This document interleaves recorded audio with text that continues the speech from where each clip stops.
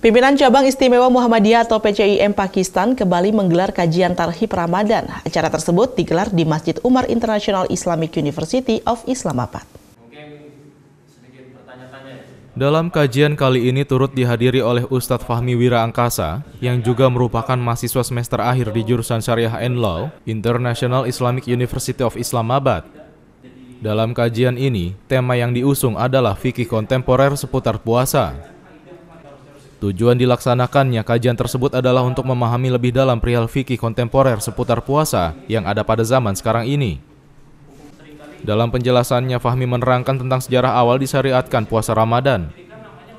Selain itu, ia juga menjelaskan tentang kaidah yang dijadikan patokan oleh para ulama salaf dalam memutuskan suatu hukum yang berkaitan dengan puasa kontemporer.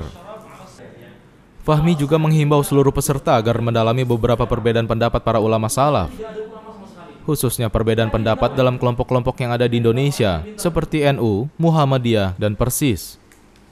Usai pemaparan acara dilanjutkan dengan sesi pertanyaan dari peserta dan ditutup dengan acara foto bersama.